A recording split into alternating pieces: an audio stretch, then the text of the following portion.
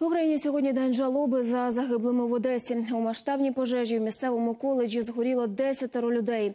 Уночі під завалами знайшли тіла ще двох. Хто це, поки що невідомо. Зниклими безвісти вважають шістьох. На стаціонарному лікуванні залишаються дев'ятеро постраждалих. Сьогодні в Одесу прибув прем'єр-міністр Олексій Гончарук. Держава, за його словами, надасть підтримку родичам загиблих.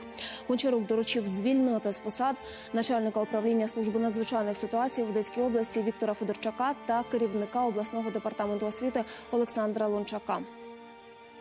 У мене немає повноважень е, вас особисто звільняти, е, Віктор Васильовичу, але я вам раджу написати заяву особисто.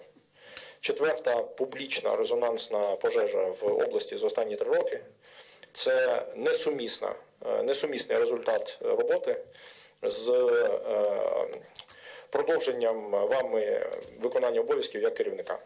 Якщо е, по вас не буде прийнято кадрове рішення, я буду ініціювати кадрове рішення на більш високому рівні, на рівні міністерства або на рівні керівництва ДСНС. Е, нічого особистого, просто система в Одеській області працює жахливо неефективно.